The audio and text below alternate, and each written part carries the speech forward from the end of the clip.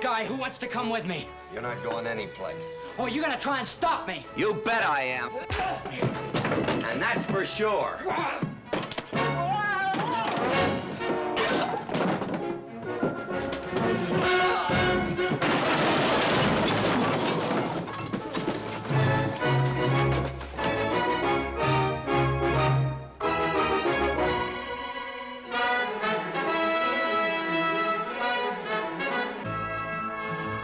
Texas is a woman, she used to say. A big, wild, beautiful woman.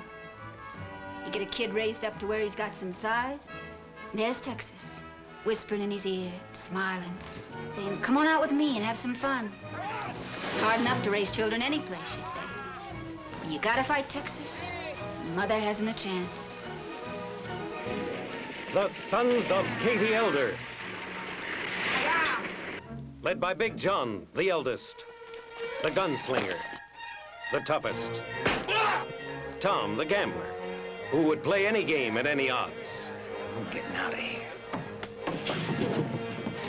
Matt, the quiet one, the dangerous one.